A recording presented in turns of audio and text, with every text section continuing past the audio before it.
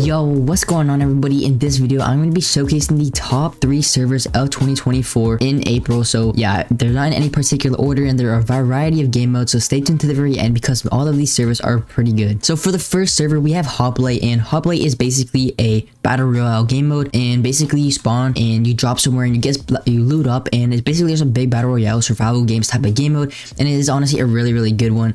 They have a current game mode running which is called the Flower Power and it's basically kind of similar to some Hypixel game modes where you basically break flowers and you get loot and loot up and stuff and then you'll fight. I've been playing this one a lot recently and honestly I can say it's a lot of fun if you are trying to look for a different game mode. Honestly there's not many servers like this. It's basically kind of like UHC on Hypixel so yeah it is honestly a really fun game mode to play. The IP for it will be down in the description as long with the rest of the IPs for the other servers in the video so make sure to go check out those if you do enjoy any of these servers. And here on Hoplite there is also some other custom features. I'm pretty sure they do some custom coding so yeah there's a lot to explore so make sure to come check it out if you are looking for a battle royale kind of game mode. But now let's move on to the next server. Okay, so the next server is MCC Island, and this is basically a take on this popular game mode that a lot of popular creators do. I'm pretty sure it's called like MCC or something and it's basically a lot of famous YouTubers go in there and they host some mini games and stuff. But this one is basically a server for any of you guys to play on, and they basically have the same game mode. So you take a look, they have game modes like Sky Battle, Battle Box, Dynaball,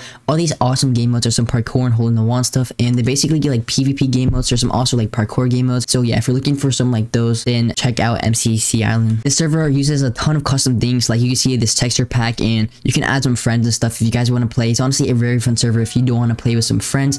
I come on here a lot playing with some friends and we just have a good time honestly.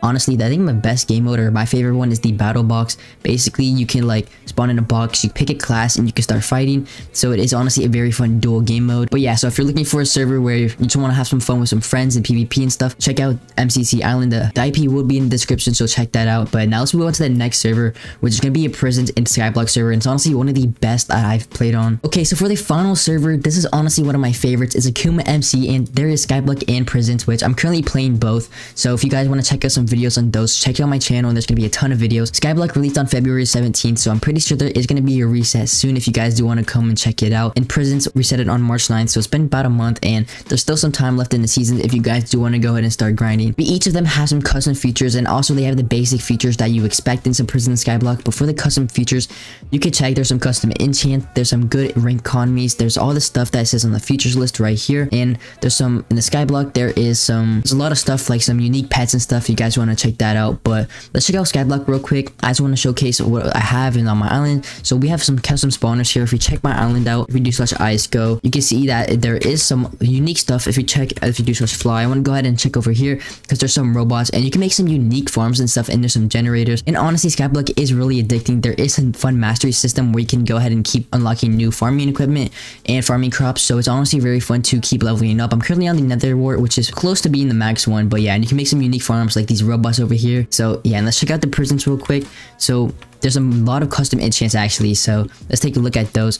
So there's a lot of these that do some custom things like um, meteor shower spawn meteors and stuff and it's honestly really really cool. I think they're in the process of updating the server to 1.20 from 1.8 so that's going to bring in a lot of new features and custom like models and stuff so it's just going to make the server a ton better. And honestly these prisons is really addicting because leveling up and ranking up is just very fun and the grind is honestly is really fun and it's not boring at all. Yeah if you are looking for a prison server that is a ton of fun make sure to check out akuma mc akuma mc has probably been one of the best and most fun servers i played on so yeah, I do really recommend Akuma MC. The IP will be in the description. It is akumamc.net, so make sure to check that out. And you can look at my channel for some more videos on the Skyblock and prisons. If you do have any more questions or anything, you can also ask in the description and I'll be sure to answer. But that's going to be the last server and these are honestly the top three servers that I do recommend playing. All the IPs and stuff will be in the description, all the info that you're going to need. But yeah, I'm going to wrap things up there. I'll see you in the next one and peace out everybody.